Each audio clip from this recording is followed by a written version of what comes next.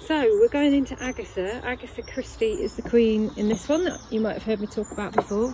Bit of a mystery, we never seem to find it, but we know she's here. Um, so Anna is brilliantly going through our hive, just having a look. So we're just in the super at the minute, which is the bit where the bees go to put the nectar in to make the honey.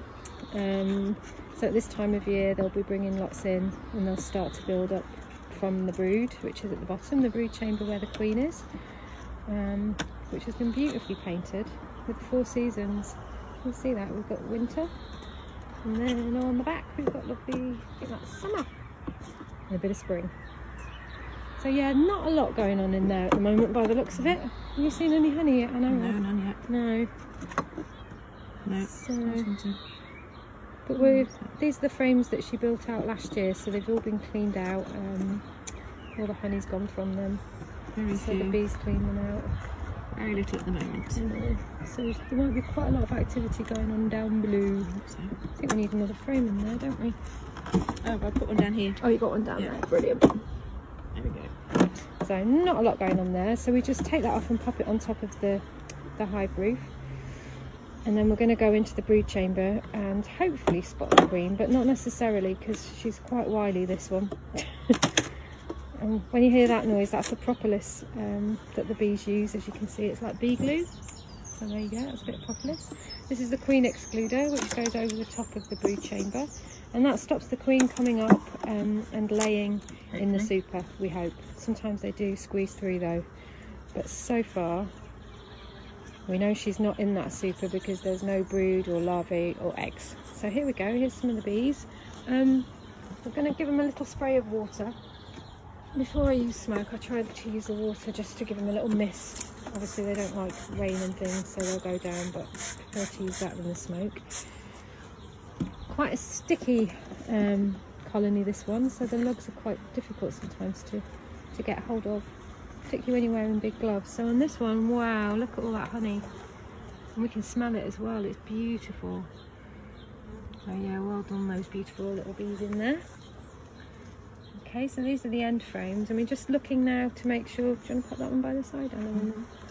Just to make sure that they've got enough room in there for the queen to lay. And they've got enough stores. I mean, the weather's fantastic at the moment, so they're bringing back a lot of pollen. I don't know whether we'll get to see it down here, but um, you can see the bees going in and out really fast. Oh, look at that, more honey as well. So the bees will be putting the nectar in there and flapping their wings to make sure the water content, but look at all that. So there's some food for them. So we'll just gradually make our way through these. And there's never any rush with beekeeping, which is a joy. I think this is probably going to keep us sane through the COVID time is coming and having this moment with the bees. Bless them. So yeah, if I go in close, you can see the pollen that they've been packing in there. That's the brood food. And then on this side again, just lots and lots of bees. You can see one with pollen on its feet. Can you see the little yellow dots? And they'll be packing that in. I'm hoping Eagle Eye Anna, who's with me today, one of our brilliant volunteers, will spot a queen because we never find Agatha. But you never know. Today could This be the lighter, day. This is much lighter. So again, loads and loads of brood on that frame. Loads of bees. Oh yeah, lots of laying going on there. So yeah, but I'm not seeing the queen on there. Next frame's looking really busy.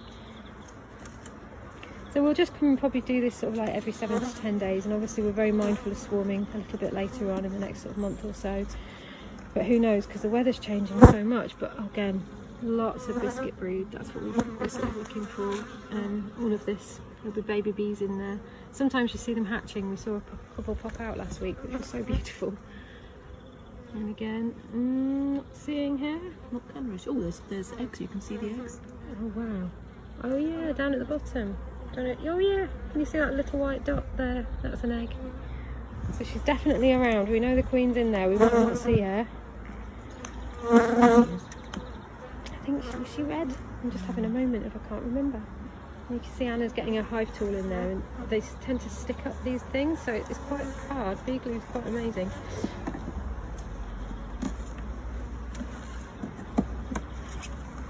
Anna's doing such a lovely job. She's so gentle with them.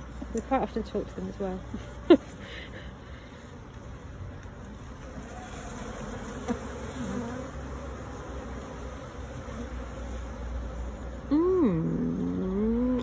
She's again more eggs. We can see eggs and things, but no, I'm not seeing her here, Anna. No, not yet. So we've seen, we got to see Victoria. Uh-huh. Agatha is still remaining quite a mystery to us. Hence the name. It's a lovely She was day a for. mystery last year. She was. It's a lovely day for beekeeping. It's, there's very little wind, which is good. Um, obviously, a lot of the bees are out foraging because the temperature's above 12 degrees, which is great. Lots of pollen on the legs of these bees in here. And there's the drone comb at the bottom. Obviously, the drones need to be going out and mating with the virgin queens at some point soon. There's a bee with its bum in the air. I don't know if you can see that.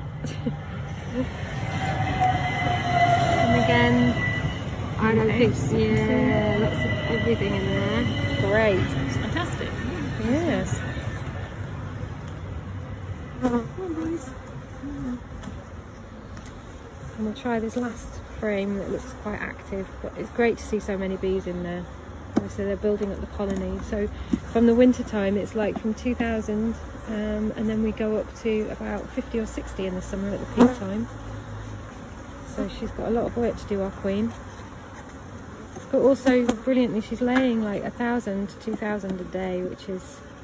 I find that quite hard to get my head around sometimes.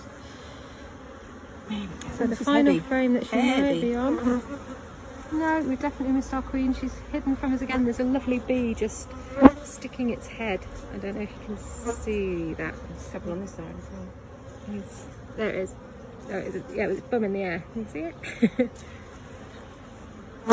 we've got even more brood on there as well. So she's really doing well. Well done, Agatha. And then we can see from here that there's just tons of honey on that one, so we'll leave it. Leave it? Okay. And we'll close up the Sorry, hive. Agatha. So basically, we'll pull all those frames back and stick the other one back in, um, and we'll put another super on, which is down here on the floor. So she's got a couple to build up into, but she's looking really good. So thanks, Agatha, and thanks, Anna.